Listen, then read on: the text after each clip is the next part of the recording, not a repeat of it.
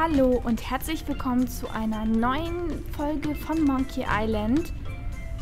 Drittes Kapitel. The Layer of Lithium. Ich werde das niemals aussprechen können. Wir befinden uns im Bauch, beziehungsweise nicht im Bauch, im Körper der Seekuh ähm, und müssen einer äh, Bruderschaft beitreten und dazu gewisse oder beziehungsweise die unten hier lebenden ehemaligen Crewmitglieder ähm, dazu bereden, dass die uns in ihre Bruderschaft lassen. Und das letzte Mal haben wir uns versucht mit Bugey ähm, im Beleidigungsgrimassenschneiden äh, duellieren, haben dabei kläglich oder sind dabei kläglich gescheitert und jetzt heißt es, ähm, wir müssen uns Grimassen aneignen, damit wir es gegen ihn aufnehmen Ich spüre meine Beine nicht! nehmen können. Hier ist doch irgendwas in der Kiste drin. Aber ich weiß nicht, wie man die aufkriegen soll. Mit dem Schwert geht's ja nicht. Ich will das nicht zerschneiden. Ich will das nicht zerschneiden. Ähm, genau, wir müssen uns Grimassen aneignen, damit wir ihn schlagen können. Ich habe nach der Aufnahme nochmal ganz kurz, ich glaube fünf Minuten oder so weitergespielt und habe einfach mal kurz was getestet. Und man kann sich tatsächlich in der näheren Umgebung hier einige Grimassen schon mal abgucken. Unter anderem hier bei deinem Affen. Das Affengesicht. Ich mag das. Ich auch. Ich füge das zu meinem Piratengrimassenrepertoire hinzu. So, das heißt, wir müssen tatsächlich hier uns die Grimassen so langsam aneignen. Ähm, tü, tü, tü, tü, tü. Ach, ich hätte ja durch diesen Schleim ähm, Kurzweg gehen können, schlutschen können, was auch immer, habe ich jetzt vergessen. Hat Sind das Seekuhfleischbongos? immer wieder, Ja, ich klicke immer klar. wieder auf diese ekligen, fiesen Pestbeulen drauf. Lugi, mein. Freund. Ähm, übrigens, Arr! aus sein Auge. Uh, der ist gut. So. Mal gucken, ob... Hey Mo, Was Himmel. ist denn? Ähm, ich wollte nur sagen, Arr! Jo, das ist eine neue. Und dann haben wir ihn da hinten, Moose. Hallo. Was geht? Was geht? Ach, äh, ich wollte nur sagen. Arr! Arr! Nette Arr. Technik. So, kann der auch? Kommst du oft hierher? Übrigens, ähm, Arr! Hab dich zu Tode erschrocken, was? er ist aus den Latschen gekippt. Bis dann. So, aber ich glaube, dass wir immer noch zu wenig Grimassen tatsächlich haben, um letztendlich Buckeye zu schlagen. Ich weiß auch nicht, ob er uns persönlich auch noch irgendwie irgendeine! Grimasse geben kann. Was jetzt? Ähm, du bist ein Spielverderber, dann duellieren wir. Nee, wir können tatsächlich uns noch duellieren. Mal gucken, Und was noch eine Runde. für Grimassen Hast du noch nicht die Nase voll? Nein, habe ich nicht. Hör auf zu meckern. Sieh zu. Bereit? Ich beginne. Hier kommt Arr! Stinkend, Strabismus, Fiesling. Da habe ich selbst bei Neugeborenen schon furchterregendere Grimassen gesehen. Sieh dir das hier an. Oh, mir fehlen aber noch ziemlich viele. Also wir müssen die alle voll kriegen. Da haben wir gar keine andere Wahl. Man kann nicht mit weniger gewinnen. Das Problem ist, er kennt halt sämtliche Grimassen und wir müssen ihn immer ausstechen. Das heißt, wenn er zum Beispiel Stinken, Stabismus und Fiesling genommen hat, darf ich diese drei nicht mehr verwenden, sondern muss zum Beispiel jetzt widerwärtig nehmen, frisiert und dann nehmen wir Affe. aber schön gemacht. Hier kommt Arr! Widerwärtig, frisiert, Affe. Krass. Cheap Whistle hat Runde 1 überstanden. Ganz nett. Aber kannst du das hier toppen? Das ist Arr. Vermummt, schielend, alter Knacker. Hast du schon eine Grimasse gemacht? Ich sehe bloß eine gewöhnliche Entstellung. Schau dir das mal an. So, wir haben tatsächlich einen neuen gelernt. Ich darf jetzt aber diese drei nicht mehr verwenden. Stinkend hatte er am Anfang schon angesetzt, vermummt soeben und widerwärtig hatte ich schon. Das heißt, alle drei kann ich nicht mehr einsetzen. Ich müsste praktisch den vierten wählen, den ich ja aber eigentlich nun mal nicht habe. Und das gleiche gilt denn für hier. Kap ich, glaube ich. Stabismus hätte er genommen. Frisiert hätte ich genommen. Ich glaube, Schielen kann man machen. Ähm, hier habe ich tatsächlich alle. Fiesling, Affe, Irre und alter Knacker hatte er. Dann kann ich den Irre nehmen. Und hier kann ich leider entweder, kann ich mich halt zwischen den dreien entscheiden. Aber ich bin der Meinung, dass nichts davon geht. Ich versuch's mal trotzdem mit stinkend. Das ist R. Stinkend, schielend, Irrer. Ein paar neue Schritte, aber nicht genug. Teiloriginalität ist so gut wie gar keine. Bug-Eye gewinnt. Du hast echt nichts drauf, Junge. Ich werde langsam warm. So, da ist nämlich jetzt genau das Problem. Also entweder ich muss tatsächlich hier noch irgendwo eine Grimasse führen, die mir noch nicht Das aufgefallen Porträt ist. von Fischeis Alabaster. Es ist mit antikem Schmutz.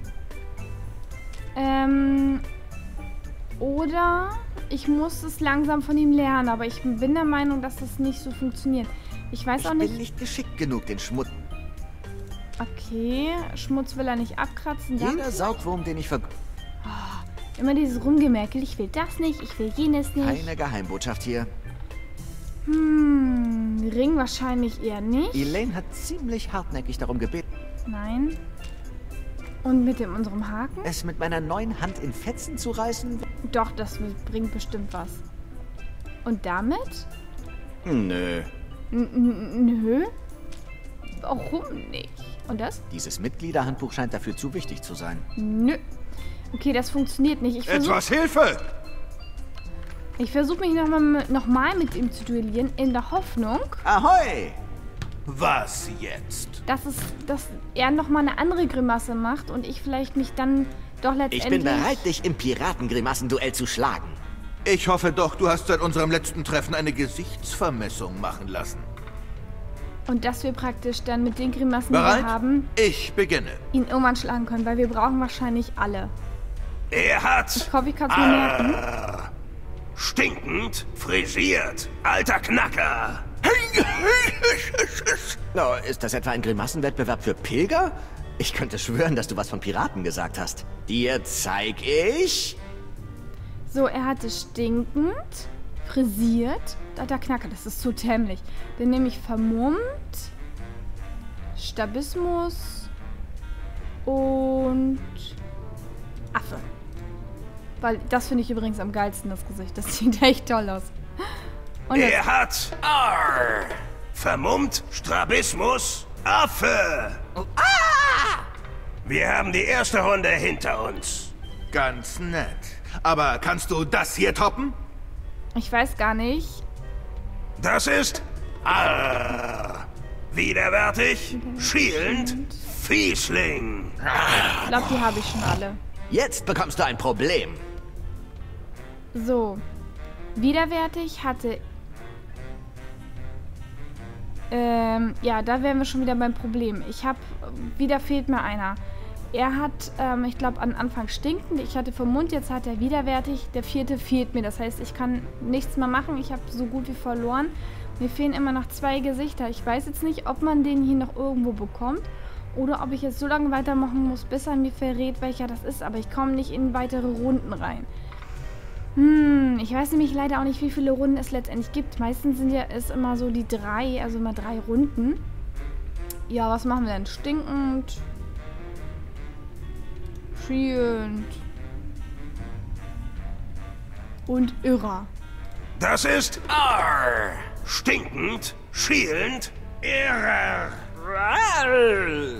Aufgrund wenig origineller Opposition ist Bugeye der Sieger. Und noch eine abgekupferte Darby. Na, warte. Ah ja, der soll aufhören, sie anzugeben. Es ist ja auch echt nicht einfach. Hm. Ich muss wahrscheinlich noch Gesichter finden, aber ich habe wirklich jetzt keine Ahnung. Ich ver versuche nochmal mein Nugi, Glück bei anderen. mein Freund. Vielleicht.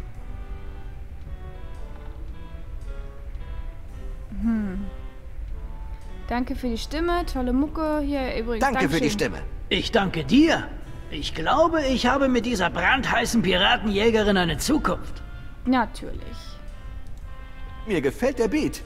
Aber wie wär's mit etwas Lebhafterem? In etwa so? Da stehe ich total drauf. Moment mal, dadurch steigt die Säure oder die, der Magensaft an oder die Gallenzeug. Vielleicht kann ich ja jetzt hier durch diese komische Beule. Splutsch. Splutsch. Vielleicht kann ich da ja jetzt hin. Vielleicht hat das damit was zu tun? Was ist ne? Nein.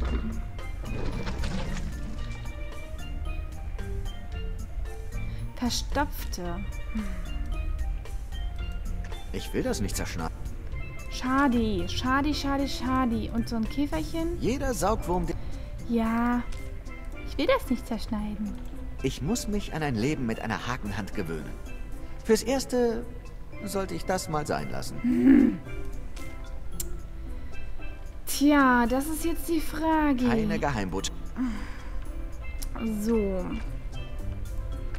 Kann man sich sonst auch nichts mehr angucken? Die Schatzkiste Meine Kraft wird... krieg ich nicht auf.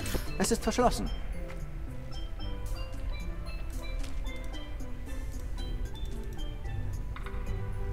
Ja. Ah, mit dem Haken. Ja, komplett unverschlossen. Mein Haken ist ziemlich praktisch. Aber manchmal vermisse ich die alten Greiferchen. Hä? Oh nein. Sacrebleu. Dieser Irre. Die Moleküle bauen sich auf. Die Formel verwirklicht sich. Wissenschaft! Ich habe hier Wissenschaft! La mort est tuée. Lomori, was? Hä? Hat er das jetzt aufgemacht oder nicht? Und wer wird sich dahinter verbergen? Wer ist es? Weh dir, törichter Sterblicher! Du hast die sichere Verdammnis all deiner fleischigen Artgenossen heraufbeschworen. Der Zorn Murrays wird... Na, richtig, sehr lustig. Hi, Murray! Threepwood! Ich schätze, ich hätte damit rechnen müssen. Lang nicht mehr gesehen. Wie wurdest du hier drin gefangen? Ich bin nicht gefangen. Okay. Was hast du getan, bevor du dich entschlossen hast, es dir in einer Schatzkiste, die in einer Seekuh steckt, gemütlich zu machen? Nun, meine Legion von untoten Soldaten hat eine Armada spanischer Klipper in die Knie gezwungen, als ein mächtiger Sturm unser Schiff kentern ließ. Ich kann mich nicht erinnern, von einem Kampf mit der spanischen Armada gehört zu haben. Ha! Als würde jemand mit dem Leben davonkommen, um diese Geschichte zu erzählen. Brauchst du etwas Hilfe? Hilfe? Ha! Hilfe! Ich werde dir ein Ende setzen. In Ordnung. Hat mich gefreut, mit dir zu reden, Murray. Äh, vielleicht ein bisschen Hilfe. Hm? Wie bitte? Vielleicht mich mitnehmen. Oh, du hättest gern Hilfe. Auf geht's, Kumpel. Ah, hier drin ist es dunkel. Und warum stinkt es hier so nach vergammelter Marmelade? Es ist Murray. Das ist ja super. Ich habe schon gehört, er soll hier drinnen vorkommen. Und ich habe mir auch schon tatsächlich gedacht, das hört sich von der Stimme wirklich so an, als wäre es Murray gewesen. Ich habe mir, ge ich habe es mir schon so gut wie gedacht, dass er da drinnen hockt. Oh, ist das toll. Aber er sieht schon reichlich seltsam aus. Wir haben Murray Alles an in Bord. Ordnung hier drin? Du musst diesen Saugwurm loswerden. Ich hatte ihn fast. Aber du kannst nichts schmecken. Es ist trotzdem ekelhaft. Das ist ja toll. So, ich habe auch eventuell schon eine Vermutung, was wir mit dem machen müssen.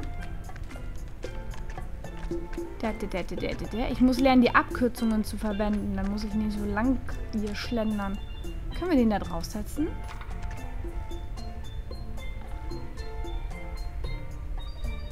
Nein? Der ist nicht zum Aufstecken.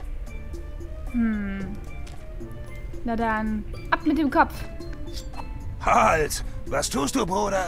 Okay. ich habe eine Spinne gesehen. Ich wollte Santino kurz rasieren. Ich hacke Santinos den Kopf ab. Ehrlichkeit ist der, ähm, ist der Schlüssel. Nein, wir wollten ihn rasieren. Ich wollte Santino kurz rasieren.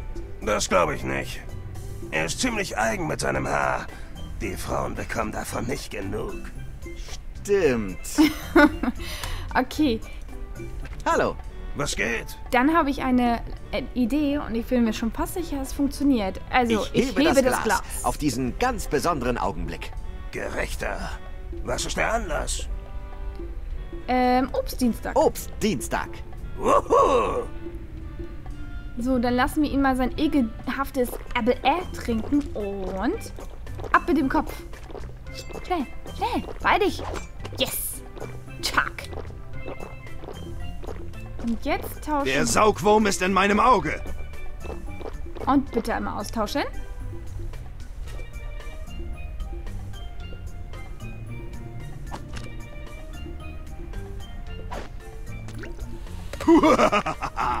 Threepwood, du hast den größten Fehler deines Lebens begangen. In meiner neuen körperlichen Form werde ich diese Länder abfackeln, nur um sie nach meinem ruchlosen, allmächtigen Abbild wieder aufzubauen. Und? Gefällt dir dein neues Outfit? Das tut es. Santino, Bruder, möchtest du mir dabei zusehen? Die Menschheit verspricht mir ihre Treue. Unsere Bruderschaft ist ein Band, das in den Flammen der Hölle geschmiedet wurde. Vielleicht werde ich mich einen Augenblick an dieser Bruderschaft weiden. Bevor du die Welt abfackelst? Terror wird über diese Seekuh hereinbrechen. So viel steht fest. Schön. Er hat einen Körper. Wie geil ist das denn? ähm, er tut immer so, als wäre er unglaublich böse, aber eigentlich ist er, im Grunde seines nicht vorhandenen Herzens ist er lieb. Kann ich mit ihm noch sprechen? Hallo, Mer... Äh, Santino. Mary. Aloha! Wie behandelt dich der Körper? Wie behandelt dich der Körper? Bemerkenswert gut. Es ist nur eine Frage der Zeit, bis ich meine Gliedmaßen unter Kontrolle habe. Oh, Junge, dann geht es uns an den Kragen. Ich werde dir eine neue Definition für Elend schreiben. Du kannst jetzt auch lesen und schreiben? Noch nicht ganz. Ich zittere, ich zittere. Ähm, hier übrigens. Bekomme ich deine Stimme für die Bruderschaft? Wir sind sehr wählerisch bei unseren Mitgliedern. Vor 15 Sekunden habe ich dich noch reingeschmuggelt. Wie wär's mit etwas Dank für den Aufwand? Okay, okay, sicher, Creepwood.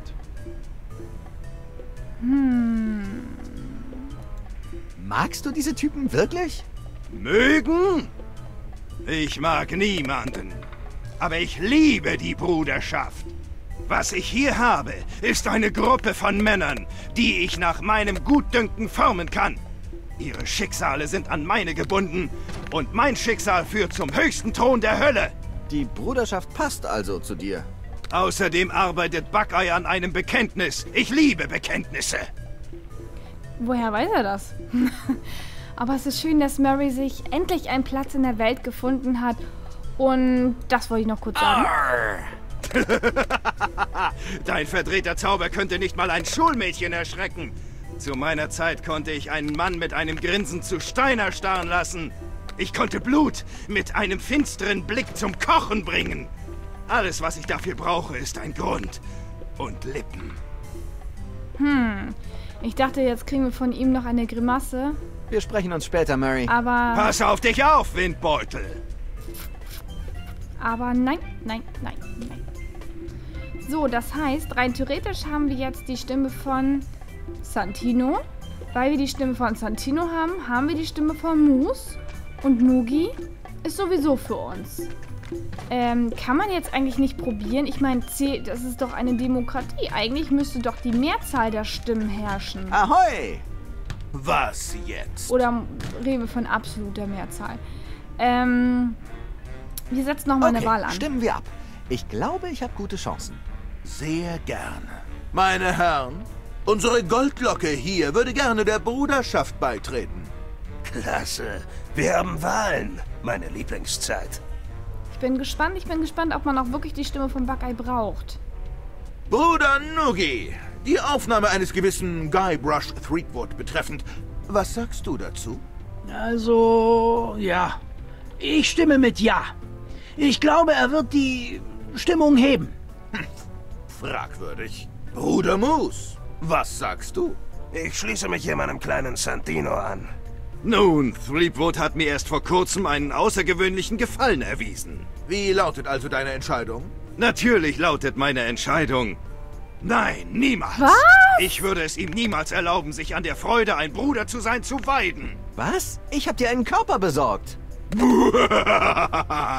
Was meinen Verrat nur noch teuflischer macht. Ich bin der König der Folter. Ich werde deine Seele bis in alle Ewigkeit quälen. Ja, So ein fieses Stück. Das macht zwei Nein-Stimmen. Und natürlich meine Stimme. Sie lautet Nein. Ich bin schockiert. Ah, tut mir leid. Die Aufnahme kann nur durch einstimmige Wahl erfolgen. Wie wär's mit einfacher Mehrheit und Abklatschen? Da wird wohl nichts draus.